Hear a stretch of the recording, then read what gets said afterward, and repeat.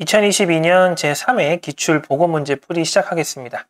정식 기출 문제는 공개되고 있지 않기 때문에 응시생의 경험과 출제 경향 등을 파악해서 당시 문제들을 복원한 것이기 때문에 실제 문제와 다른 부분이 있을 수 있다는 점을 미리 말씀드립니다. 첫 번째부터 보도록 하죠. 아래 형상 관리 도구를 관리 방식에 따라 나눈 설명을 보고 빈칸에 들어갈 알맞은 용어를 쓰시오 라고 되어 있습니다. 세 가지가 들어가 있네요. 일단 중앙 서버에서 형상 관리 시스템이 항시 동작이 되고요. 개발자들의 작업 내역을 축적할 수 있고 모니터링이 가능하다라고 되어 있고 여기 종류 나와 있죠. 일단 서버에서 관리를 한다라고 하면 클라이언트 서버 방식이에요. 클라이언트 라이언트 서버 이렇게 적어주시면 되겠죠. 하고 밑에 개발이 완료된 파일은 공유 폴더에 복사하고 여기 나와 있죠. 공유 폴더 방식입니다. 여기는 뭐 특별한 건 아니고 각 개발자들이 동작 여부를 확인해 준다. 이렇게 정리를 하시면 되고요. 그 다음에 원격 저장소에 개발자들의 개인 로컬 저장소 복사해서 이제 뭐 개발한 뒤 다시 원격 저장소에 저장하는 방식이다. 결국엔 원격 저장소, 저장소가 포인트가 되겠죠. 저장소. 자, 이건 분산 저장소 방식입니다. 분산 저장 또는 저장소 이렇게 적어주시면 돼요. 공유 폴더, 그 다음에 서버, 저장소 이게 이제 핵심 키워드가 되겠죠? 넘어갈게요. 다음은 아래에서 설명하는 보안 관련 용어를 약어로 써라.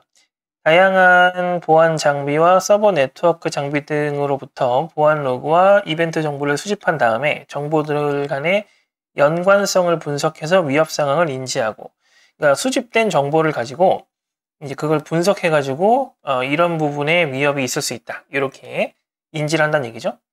어쨌든 그런 솔루션이고요. ESM의 진화된 형태다.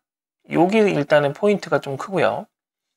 그 다음에 하드웨어 및 응용 프로그램에 의해 생성된 보안 경고의 실시간 분석 제공한다. 이 실시간 분석이란 말은 계속하고 있죠, 지금. 방화벽, antivirus 솔루션, 서버, 네트워크 장비 등으로부터 수집한 다양한 로그 보안 이벤트 데이터를 빅데이터 기반으로 분석한다. 지금 보면 계속 분석이라는 말을 하고 있죠. 여기 이제 포인트란 얘기죠. 요거 SIEM입니다. 이렇게 기억을 해두시면 돼요. 넘어갈게요. 세 번째, 아래 ER 다이어그램의 요소에 대한 설명을 참고해서 빈칸에 적절한 기호를 쓰시오. 기호를 글이라는 게 아니라 글로 쓰란 얘기예요. 자, 개체 간 연관되는 관계를 표현할 때 말은 뭐입니다. 말은 뭐. 이렇게 그리지 말라는 거죠. 말은 뭐 이렇게 쓰란 얘기입니다. 관계는 말은 뭐고요. 그 다음에 특성은 탐원으로 나타내죠. 그 다음에 식별 가능한 개체 대상, 직사각형으로 표현합니다. 이 부분은 필기에서도 자주 나왔던 부분이죠. 넘어가도록 하겠습니다. 네 번째, UML의 구성 요소 중에 구조적 다이어그램에 해당하는 게 뭐뭐가 있는지 자 보기에서 모두 찾아서 써라 라고 되어 있습니다. 어, 구조적 다이어그램은 어떤 행위적인 부분이 아니라 어떤 관계를 표현하는 형태예요. 자, 클래스 다이어그램과 객체 다이어그램, 그 다음에 component 다이어그램, 요게 구조적 다이어그램에 속합니다. 이건 단순 암기입니다. 그리고 저는 그냥 동그라미를 쳤지만 여러분들은 보고 쓰셔야 돼요. 답에다가. 자, 그 정도 보시고 넘어가서 5번 아래 설명에 해당하는 정보보안 관련 용어는 무엇인지 영문으로 써라. 가장 기본적인 인증 시스템이고요. 모든 인증을 하나의 시스템에서 하나의 시스템에서 모든 인증을 할 수 있다. 목적하에 개발된 것이고 몇 대가 돼도 하나의 시스템에서 인증에 성공하면 다른 시스템에 대한 접근 권한도 모두 얻을 수, 얻을 수 있다고 되어 있습니다. 뭐 예를 들면 사이트가 여러 가지가 있을 수 있는데 뭐가 있을까요? 음, 뭐 삼성이라고 치면 뭐 삼성 모바일도 있을 거고 삼성 가전도 있을 거고 또 뭐가 있을까요? 삼성 뭐 전자 전자가 가전이죠. 뭐 아무튼 이런 게 있다고 치면은 어떤 사이트에 로그인을 하면 다른 데도 다 같이 로그인이 되는 거예요. 이런 걸 이야기하는 겁니다. 한 번만 딱 했을 때 인증이 된다. 그 개념이라고 보시면 되겠습니다. 자, 그래서 이걸 뭐라고 하냐면은 SSO라고 합니다. 싱글 사인 온이란 뜻이거든요. 요거 SSO 해가지고 이렇게 적어주시면 됩니다. 싱글 사인 온이라고 풀네임으로 적을 필요도 없습니다. 영문으로 쓰시오라고 되어 있는데 약어로 써도 괜찮습니다. 자, 넘어가고 아래 설명을 읽고 빈칸에 해당하는 관계대수 기호를 써라 라고 되어 있습니다. 조건에 맞는 튜플을 추출하여 수평적인 부분 집합을 구하는 연산이다. 그러니까 조건에 맞는 걸 셀렉트한다 뭐 그런 개념인데요. 기호가 뭐냐면은 이렇게 생겼습니다. 이 오른쪽에 살짝 튀어나와야 돼요. 이렇게 적어주면 좋고 그 다음에 두 번째 이번에는 수직적 수직, 수직적은 파이 기호죠. 요거 이렇게 써주시면 돼요. 요게 수직 여기 셀렉트 여기 프로젝트거든요. 이렇게 정리해 주시면 됩니다. 기호를 쓰라고 돼 있으니까요.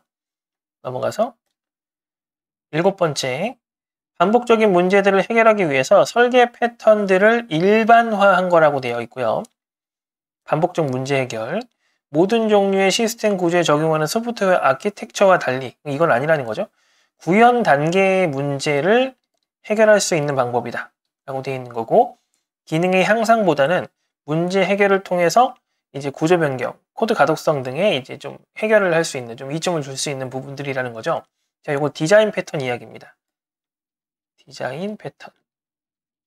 코드를 디자인하는 패턴이라는 뜻이에요. 일반화를 했다라는 부분에서 힌트를 얻을 수 있습니다. 넘어갈게요. 자, 이번에 서브네팅이 나왔습니다. 또. 자, 어, 192, 168, 1.0 해가지고 이제 25에 주소를 부여받아서 고정 길이 서브넷 마스크 방식을 사용해서 3개의 네트워크로 분할하고자 할 때 두 번째 서브넷의 브로드캐스트 주소, 제일 마지막 주소를 이야기하죠. 쓰시오라고 되어 있습니다. 이것도 일단 한번 보겠습니다. 어, 일단 적어 놓을까요? 192.168. 1.0입니다. 자, 근데 25라고 되어 있죠. 총 32비트 중에 25는 이미 마스크로 쓰고 있는 거예요. 그러면 우리는 7비트를 가지고 놀아야 합니다. 자, 그래서 원래 요 한 부위당 한 부분당 8개의 비트가 필요하기 때문에 우리는 여기서 이걸 이진수로 표현을 해보면 하나, 둘, 셋, 하나, 둘, 셋, 넷 해가지고 총 8자리의 이진수잖아요. 여기서 여기까지는 건드리지 못한다. 뭐 그런 얘기입니다. 그래서 요 나머지 7가지 비트로 계산을 해야 되는데 3개의 네트워크로 분할을 한대요. 자, 일단은 2의 제곱수를 적어볼까요? 2, 4, 8, 16 이런 식으로만 분할을 할 수가 있어요. 자, 근데 3이라는 건 여기 존재하죠? 그렇기 때문에 4개로 분할합니다. 4개로 분할을 하게 되면은 이거는 2의 2승이죠. 이건 2의 1승이고 이건 2의 3승이잖아요. 2의 2승이면 2비트죠. 결국 2비트만큼 서브 네트워크 주소로 사용을 해야 된다는 뜻이에요. 따라서 이 우리가 가지고 놀 수 있는 7비트에서 왼쪽 두 개의 비트를 서브 네트워크 주소로 사용을 하겠다라는 의미가 되는 거죠. 자 그렇게 되면 여기까지는 비어 있는 거니까 그냥 00, 0이 있을 거고 001이 있을 거고 01, 0이 있을 거고 011이 있을 거라는 거죠. 이 왼쪽에 있는 0은 그냥 쓴 겁니다. 그래 놓고 여기 있는 게 바뀌는 거예요. 그래서 00000부터 11111 이렇게 가는 거죠. 마찬가지 여기도 00000부터 1111까지 이렇게 똑같이 진행한다고 보시면 돼요. 더 써놓을게요. 하나, 둘, 셋, 넷, 다섯. 하나, 둘, 셋, 넷, 다섯. 하나, 둘, 셋, 넷, 다섯. 이렇게 보는 거죠. 총 4가지가 나온다 이거죠. 0번 subnet, 1번 subnet, 2번 subnet, 3번 subnet 이렇게 한다고 보시면 되는데 자, 3개의 네트워크로 분할을 한다 라고 되어 있어요. 그러면 0, 1, 2가 필요하냐? 근데 이건 또 IP 서브넷 제로라는 옵션을 보셔야 되죠. subnetting 할 때는 항상 IP 서브넷 제로가 적용되는지 안 되는지 안 써 있으니까 안 되겠죠. 그러면 얘는 비워둬야 돼요. 얘를 비우고 여기서부터 보는 겁니다. 그러니까 두 번째 서브넷이라는 거는 요거를 의미하는 거죠. 자, 그래서 두 번째 서브넷에 브로드캐스트 주소를 쓰시오라고 되어 있으니까 두 번째 서브넷의 가장 뒤쪽에 있는 자, 이 부분에 대한 주소를 의미하는 겁니다. 자, 그래서 연결해 보면 지금 요게 이거 붙어서 0000 또는 1111 이렇게 가는 거잖아요. 그러니까 여기서는 010 하나, 둘, 셋, 넷, 다섯 요거를 의미하는 겁니다. 계산을 해볼까요? 실제로 1, 2, 4, 8, 16, 32, 64예요. 요걸 다 더하시면 됩니다. 요것만 더해도 지금 보면 80이죠? 이거 더하면 90이고요. 이렇게 더하면 95죠. 최종적으로 192, 168, 1, 95. 요 숫자가 되는 겁니다. 그래서 정답은 192, 아이고, 다시요. 192, 168, 그 다음에 1.95, 다시 27. 이렇게 적어주시는 거죠. 27까지 적어주셔야 돼요. 이건 subnet을 한 거기 때문에 이 두 비트에 대해서 원래 25였지만 두 비트에 대해서 subnet 비트 마스크를 좀 사용을 하기 때문에 이렇게까지 적어주시는 게 정석일 거다. 이렇게 생각하시면 되겠습니다. 자, 넘어갈게요. 이건 좀 많이 어렵죠? 자, 과거의 경험이나 확인자의 감각에 의존해서 테스트 케이스를 설계하는 블랙박스 테스트 기법. 단순 암기죠. 오류 예측 테스트입니다. 오류 예측. 넘어갈게요. 이거는. 자, 아래서 설명하는 프로세스 스케줄 방식은 무엇인지 쓰시오. 동일한 time slice를 사용해서 시분할 처리 시스템에 효과적으로 적용한다. time slice 단위로 프로세스를 서, 어, 처리하는 방식으로 어, 실행 시간보다 크면 FIFO와 동일한 결과를 보인다 라고 되어 있습니다. 자, 이건 뭐 요얘기예요. 예를 들어서 내가 처리할 일이 네 가지가 있다고 생각을 해보고 이 각각이 뭐 10초, 5초, 1초, 3초 이렇게 필요한 작업이라고 보면은 이 작업들을 하나하나 끝날 때까지 계속 봐주는 게 아니라 예를 들어서 뭐 1초 단위로 계속 봐준다는 뜻이에요. 그래서 여기 1초 봐주고 1초 봐주고 1초 봐주고 그럼 이거 끝나죠. 1초 봐주고 다시 또 1초 봐주고 1초 봐주고 1초 봐주고 이런 식으로 돌아다니면서 작업을 해주는 이런 형태입니다. 이게 round robin 방식입니다. R, R이라고 쓰셔도 됩니다. round robin 해서 요게 이제 프로세스 스케줄링 방식, 요 time slice를 끊어가지고 시분할로 처리한다. round robin 이렇게 기억하시면 되겠습니다. 넘어가서 11번 빈칸에 해당하는 용어를 쓰세요. 친분이나 심리 등을 이용하는 비기술적인 수단으로 여기까지만 봐도 답이 나와야 돼요. 사회공학 공격입니다. 사회 공학 공격 이렇게 보시면 되고 그 다음에 밑에 정보를 수집한 다음에 분석에 활용되지 않고 쌓여있는 다량의 데이터. 자 그래서 이거는 아직 빛을 보지 못했다. 데이터들이 창고에 박혀가지고 빛을 보지 못했다. 그래서 dark data라고 이야기를 해요. dark data. dark data라고 그냥 한글로 쓰셔도 되고요. 자, 넘어가서 12번입니다. 어, 빈칸이네요 또 하나의 프로세서 내에 일반 애플리케이션을 처리하는 일반 구역과 보안이 필요한 애플리케이션을 처리하는 보안 구역으로 분할을 하는 기술이다. 이건 trust zone의 뜻이에요. trust zone. 신뢰 영역. 일반 구역, 보안 구역을 구분하는 역할이라고 보시면 됩니다. 그 다음에 사이트에 접속할 때 주소를 잘못 입력하거나 철자를 빠뜨리는 실수를 이용하기 위해 이와 유사한 유명 도메인을 미리 등록하는 것으로 URL 하이제킹이라고 한다. 이게 typosquatting이라고 합니다. typo 스쿼팅.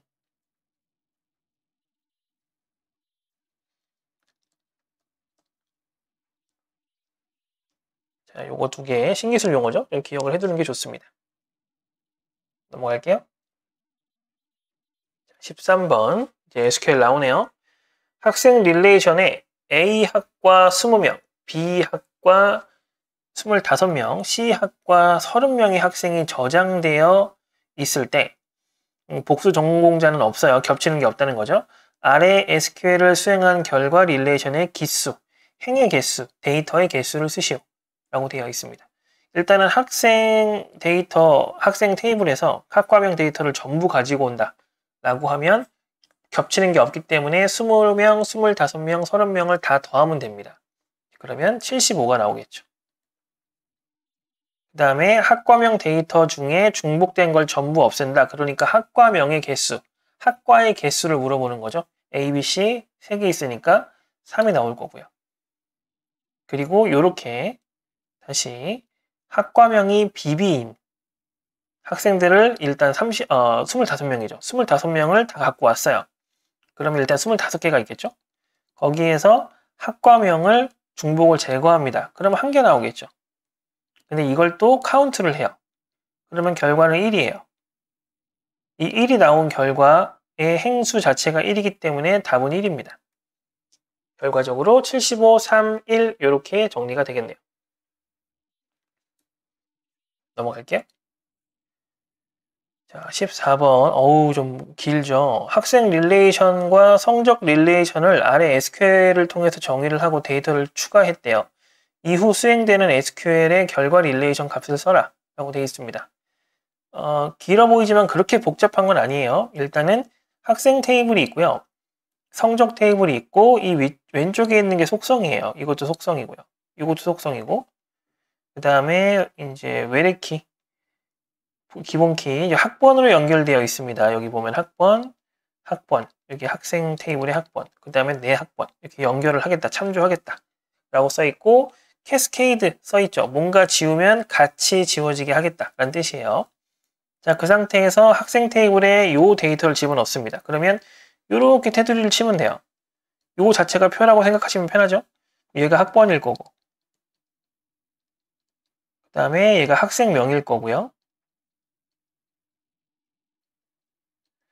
다음이 이쪽이 학과겠죠.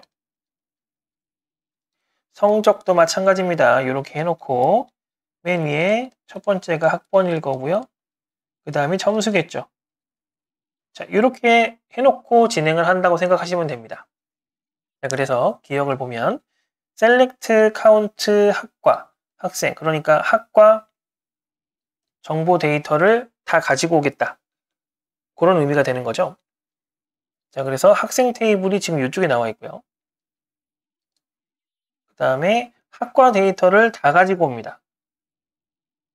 자, 그래서 학과 데이터를 다 가지고 오면은 요거, 요거, 요거, 요거, 요거가 되겠죠. 자, 이 상태에서 카운트를 하게 되면 결과는 5가 나옵니다. 그죠? 자, 그 다음에 delete from 하고 학생. 자, 학생 데이터, 학생 테이블에 있는 데이터를 지우겠다는 뜻이고요. 그 다음에 조건이 어떻게 돼요? 학과 BB라고 되어 있습니다. 그러니까 BB인 애들 다 지우라는 거죠. 자, 그럼 BB인 애를 지워요. 그럼 여기에만 지워지는 거냐? 그렇지 않다는 거죠. 학번 데이터가 연결되어 있는 2번하고 3번이 있잖아요. 그럼 2번, 3번에 이쪽 데이터도 지워져야 돼요. 왜냐면 cascade 때문이죠. 자, 그래서 2번, 3번이 같이 지워집니다. 그래서 성적 테이블에는 두 개의 데이터만 남아요. 그 상태에서 성적 테이블에 있는 학번, 애들을 다 가지고 와서 개수를 세주면 당연히 요거랑 요거밖에 안 남았으니까 2가 나와야겠죠?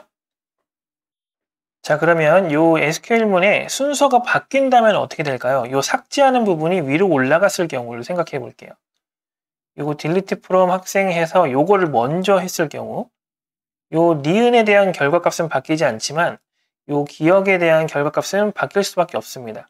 요 BB를 삭제를 하고서 기역을 한다고 치면은 BB가 삭제된 상태에서 여기 데이터를 갖고 오죠. A랑 CC 이렇게 두 개를 갖고 오게 되기 때문에 학생 데이터의 학과 정보를 가지고 와서 카운트를 하게 되면 이쪽 기역의 결과는 3이 돼요. 이해되시죠? 그래서 delete가 먼저 나왔으면은 기역의 결과는 3, 니은의 결과는 2 이렇게 나오는 거고요. delete가 지금처럼 중앙에 있으면은 기역의 결과는 5, 니은의 결과는 마찬가지 2 이렇게 된다. 이렇게 정리를 하시면 되겠습니다. 넘어갈게요. 자, Python 코드를 수행하여 출력되는 결과를 쓰시오라고 되어 있고요. 여기 보면 람다 함수가 나와 있거든요. 람다 함수는 이름 없는 간단한 함수 이렇게 정리를 하시면 되거든요. 일단은 먼저 좀 보면은 이 람다라는 거는 이름 없는 함수입니다 라는 뜻이고요. 이 num이라는 거는 요 인수다 라고 보시면 됩니다. 그리고 나서 여기 보면 num 플러스 10이라고 되어 있죠. 이, 이, 이 넘겨받은 인수값에다가 요 10을 추가를 해서 결과를 내는 이런 거라고 보시면 돼요. 예를 들어 1을 들어갔으면 11이 나오고 뭐 이렇게 되겠죠. 자, 그게 이제 일단 람다 여기까지가 람다고요. 이 람다 함수가 어디 들어가 있냐면 맵 함수라는 데 들어가 있어요. 여기 맵이라는 데 들어가 있죠. 자, 맵이라는 거는 이 함수를 여기에 있는 데이터에 일일이 하나하나 적용해서 나오는 결과 값을 다시 묶어주는, 구성해주는 그 역할을 합니다. 그러니까 A가 현재 1, 2, 3, 4, 5의 값이잖아요. 그러면 이 각각 하나들, 하나하나를 여기 람다 함수에 하나씩 넣어주는 거예요. 그럼 결과가 다섯 개가 나오겠죠? 그 다섯 개를 다시 묶어주는 겁니다. 이게 맵이 하는 일이에요. 그러면 여기는 항상 10을 더해주고 있으니까 11, 12, 13, 14, 15라는 데이터가 묶여서 map 객체로 결과가 출력이 될 겁니다. 근데 이걸 다시 리스트화 해주고 있어요. 그러면 얘네들이 리스트화 됩니다. 이런 식으로요. 이 리스트화된 데이터를 출력해주고 있는 거기 때문에 지금 제가, 제가 대괄호 하고 11, 12, 13, 14, 15 이렇게 썼죠? 요거 그대로가 답이 되는 거예요. 포인트는 리스트화 시켰다는 겁니다. 리스트화 시켰다는 거는 대괄호가 반드시 포함되어야 된다는 뜻이에요. 이렇게 리스트화 시키지 않으면은 요렇게 이런 형식으로 출력을 할 수가 없어요. 자, 그 정도까지 정리를 해보겠습니다. 이 람다도 어, 따로 뭐 배우는 건 아니지만 요즘엔 종종 나오고 있거든요. 그래서 람다도 기억을 해주시는 게 좋아요. 그렇게 어렵지 않으니까 넘어가겠습니다. 시험 6번입니다. 아래 C코드를 수행한 후 변수 CNT의 값은 얼마인지 쓰시오 라고 되어 있고요. 그리고 보시면은 이중 포문으로 되어 있잖아요. 이중 포문으로 되어 있을 경우에는 이 디버깅표를 작성하기가 좀 어렵거든요. 그렇게 되면 이제 보통 패턴을 파악하는 게 좋습니다. 일단 여기 보면은 i가 2부터 일단은 30까지 진행을 하고 있고요. 그 다음에 j는 1부터 여기는 i고요. 1부터 i의 2분의 1까지만 진행을 하고 있어요. 문제를 많이 풀어보신 분들은 아시겠지만 2분의 1까지만 진행한다? 라고 하면 뭔가를 나눠본다든지 그렇게 할 겁니다. 여기 밑에 보면은 나머지를 확인해서 0인지 확인하고 있죠. 요거 자주 보이잖아요. 나누어 떨어지는지를 보겠다는 거잖아요. 약수인지 아닌지를 보겠다는 거예요. 약수인지 아닌지 보는 건데 약수인지 아닌지 보는 상태에서 2분의 1까지만 한다? 그러면 둘 중에 하나죠. 완전수를 구하거나 소수를 구하거나 자 근데 여기는 완전수입니다. 보면은 이 나누어 떨어지는 수를 템프에 다 누적시켜요. 근데 이게 나누어 떨어지는 게 원래 자기 자신도 나누어 떨어지잖아요. 예를 들어 3이라고 하면은 1도 나누어 떨어지지만 3도 나누어 떨어지죠. 자, 근데 그 자기 자신까지 가지 않습니다. 절반까지만 하거든요. 그래 놓고 이 약수를 다 누적한 걸 자기 자신과 비교를 하고 있어요. 그래서 자기 자신과 비교했을 때 나누어 떨어진 수의 합이 자기 자신과 같으면 이거 완전수거든요. 그랬을 때 CNT를 한번 뿔뿔 해준다. 증가해준다. 그런 얘기예요. 자, 그래서 요거를 어, 계산을 해보면 말 그대로 정말 나누어 떨어지는 수가 있는지 보는 거죠. 예를 들어서 2부터 본다 그러면 2는 약수가 1만 나오죠. 자기 자신을 안 하니까. 그 다음에 3은 1 나오고요. 4는 1과 2가 나옵니다. 4도 나오지만 4는 안 간다 그랬죠. 절반까지는 안 간다고. 5는 1하고 5가 나오고요. 아, 5가 나오면 안 되죠. 그 다음에 6 같은 경우에는 1하고 2하고 3이 다 됩니다. 자, 그랬을 때 요거 다 더하면 얼마죠? 6이잖아요. 그럼 얘랑 같죠? 그럼 얘는 완전수인 거예요. 자, 이런 식으로 작성을 하게 되면은 완전수가 30까지 두 개가 나옵니다. 여러분들이 한번 직접 계산을 해보세요. 이런 식으로. 8도 한번 해볼까요? 8은 1, 2, 4가 나오죠. 다 더하면 7이에요. 그러니까 맞지 않죠? 이런 식으로 판단을 하시면 됩니다. 자, 그런 느낌으로 이제 적용을 한 거다라는 거고요. 17번 아, 보겠습니다. 자, 스코어가 있고 랭크가 있습니다. 뭐 이제 스코어랑 랭크 보면은 당연히 이제 뭐 등수 뭐 이런 거일 텐데 그죠? 출력 결과를 쓰라고 되어 있고요. 자, 전체를 다 순회합니다. 이게 이제 정렬이랑 순위를 구하는 거랑의 차이점이에요. 정렬과 순위 구하는 거의 차이점은 정렬은 뭐 시작값이라든지 종료값이 계속 변한다든지 그런 부분이 있는데 여기는 없습니다. 그냥 정직하게 처음부터 끝까지 다 돌아요. 다 돌면서 비교를 하죠. 그래서 내 값이 어떤 값보다 작을 경우 보통 왼쪽 오른쪽이라고 하지만 이 i가 왼쪽 j가 오른쪽이라고 했을 때 내 왼쪽의 값이 오른쪽 얘보다 작은 경우에 랭크 값을 1 올리고 있죠. 증가시키고 있어요. 원래 랭크 값은 1인데 증가를 시킵니다. 자 그렇게 되면 어떻게 진행이 돼요? 등수가 내가 낮은 등수가 나올수록 등수가 올라갑니다. 자 그럼 생각해 볼게요. 75가 원래 1등이었어요. 근데 75가 낮은 애들이 몇 개가 있냐고 판단을 해보면 되죠. 요거랑 요거랑 요거 낮잖아요. 75가 더. 그러니까 3번 증가되겠죠. 1에서 3번 증가되면 4일 거 아니에요. 이렇게 판단하시면 돼요. 이런 식으로 판단을 하고 있는 겁니다. 자, 요 80등도 마찬가지예요. 80점도. 원래 1등으로 시작을 했어요. 자, 그러면 요거 잠깐 지우고. 아이고. 잠시만요. 지우고. 1등으로 시작했는데 나보다 큰 값이 뭐가 있는지 확인을 해보는 거죠. 자, 일단은 요거는 같지만 크진 않습니다. 그렇죠? 그러니까 얘만 커요. 한 번만 증가를 하겠죠. 그러니까 얘는 2등인 거예요. 이런 식입니다. 자, 50 같은 경우에는 어때요? 다 작잖아요. 하나, 둘, 셋, 넷. 4를 더하니까 5가 될 거고 80 아까랑 똑같으니까 2가 될 거고 그 다음에 90은 없으니까 1이 되겠죠. 그래서 4, 2, 5, 2, 1 이렇게 나오는 게 정답입니다. 자, 이런 식으로 좀 패턴을 파악을 할 필요가 있다. 이렇게 정리를 하시면 될 것 같아요. 넘어가서 어, 이건 굉장히 좀 어려운 개념이네요. 그죠? 아래 코드에 이제 C 코드 수행 후 배열 AR의 모든 요소의 합은 얼마인지 쓰시오 라고 되어 있습니다. 밑에 보면은 for문이 막 이중 for문이 엄청 나와요. 자, 일단 볼게요. 여기 2차원 배열인데 여기 보면 2차원 배열을 정직하게 순회하고 있습니다. 자, 0부터 5 전까지. 0부터 5 전까지. 예를 들어서 배열의 개수가 x라고 치면은 0부터 x 전까지 이렇게 써 있으면 그 배열을 전체 순회하겠다는 거예요. 그러니까 이거는 분석할 내용이 아닙니다. 전체를 돌면서 뭘 할지가 중요한 거죠. 자, 일단은 이 품은 해석을 해보죠. 이거는 0보다 큰 경우, 그러니까 지금 여기 1, 2 이런 식으로 써 있을 경우란 얘기죠. 0이 아닌 경우. 0이 아닌 경우에 뭐를 해라 라고 보시면 됩니다. 자, 그래서 현재 내 위치가 이건데 어, 0이 아닌 경우에는 이제 어떻게 하는 거냐면은 내 오른쪽이죠. 그 다음에 여기는 어, 여기 아래쪽이라고 봐야겠네요. 여기가 아래쪽, 여기가 오른쪽 이렇게 보시면 됩니다. 보통 이제 행과 열 이렇게 판단을 하니까요. 어, H가 행이 맞죠? 여기가 열이고 그러니까 이쪽이 내 아래쪽, 이쪽이 내 오른쪽 이렇게 보시면 됩니다. 그리고 어디까지 진행을 해요? O 전까지. 그러니까 끝까지 간다는 얘기예요. 내 위치에서 오른쪽 끝, 그 다음에 아래쪽 끝까지 진행을 하면서 뭘 하냐? 0보다 큰 수가 있으면 0보다 큰 수가 있을 경우에 나 자신을 1 증가시켜 주세요 라는 뜻이에요. 0보다 큰 수가 있을 경우에 자 그래서 정리를 해보겠습니다.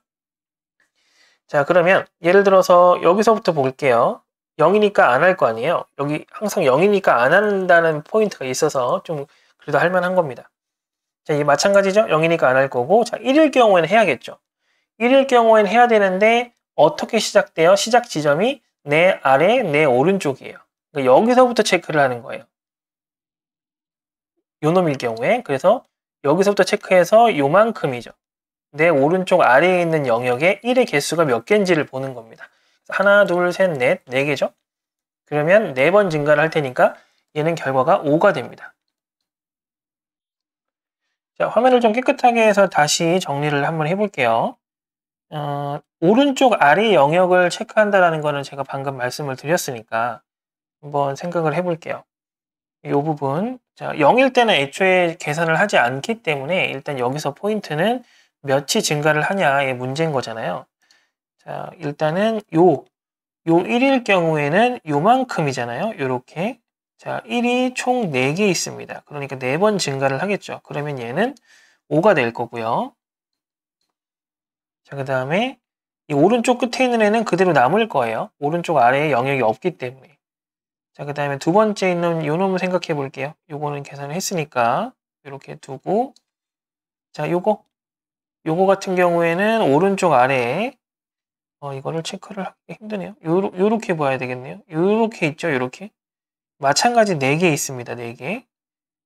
이 포인터 영역은 보이시죠? 자, 그래서 요거 4개 증가하니까 요것도 5가 될 거예요. 5. 자, 이거는 지금 요 오른쪽에 있는 요 1 같은 경우는 여기 부분 1 같은 경우에는 오른쪽 아래 보면 두 개밖에 없어요. 여기 보면 두 개 있죠, 이렇게. 두 개 있으니까 얘는 3이 됩니다. 자, 계속해서 보겠습니다. 자, 그 다음에 여기에 있는 1, 이 왼쪽에 있는 1은 여기 아래 부분 요만큼이잖아요. 4개 있죠? 하나, 둘, 셋, 넷. 그러니까 마찬가지 5가 되겠죠. 이렇게 얘도 마찬가지입니다. 바로 옆에 있었잖아요. 5 맞습니다. 요렇게 요렇게잖아요. 어, 지울게요. 하고 여기가 5가 됩니다. 이렇게 자 이렇게 정리를 하고 이 밑에 있는 것도 마찬가지 계속해서 보면 얘 같은 경우에는 여기 아래에 있는 것들만 체크를 하는 거잖아요. 이렇게 그러니까 두 개잖아요. 그러니까 3이 되겠죠. 얘도 마찬가지 3입니다. 요만큼이잖아요. 3 이렇게 체크를 하게 되는 거죠. 자 그래서 요 밑에 있는 걸 어차피 정리를 안 할 테니까 오른쪽 끝에 있는 거랑 그대로 쭉 다 적어 볼게요. 5, 그 다음에 1. 요것도 더하긴 돼야, 더해야 됩니다. 전체 배열의 요소를 구하는 거예요. 그리고 5, 3, 지금 여기까지 했죠? 그 다음에 5, 5, 그 다음에 3, 3, 마지막에, 아, 3개죠. 조심해야 되죠. 이거 3개, 3개. 1, 1, 1까지 계산을 해야 돼요. 자, 그래서 요거 하면 10이고요. 그 다음에 이거, 이거 하면 9인데 요거 같이 더하면 10이죠. 그러니까 총 20. 그리고 요거랑 요거 하면 또 10이니까 30. 그리고 1이 하나, 두 개, 세 개 남았어요. 그 다음에 33이죠. 그러면 다 더하면 33입니다. 그래서 결과는 33이 되는 거예요.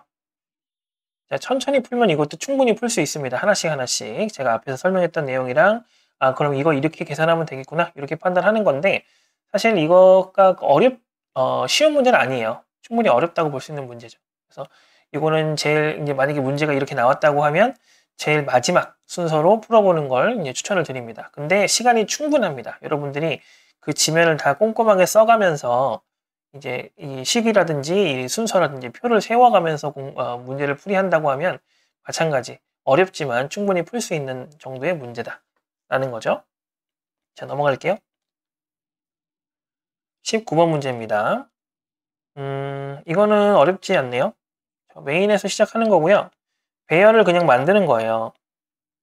근데 여기 안에는 아무것도 안 들어있죠? 이 배열을 make array라는 메소드로 보냅니다.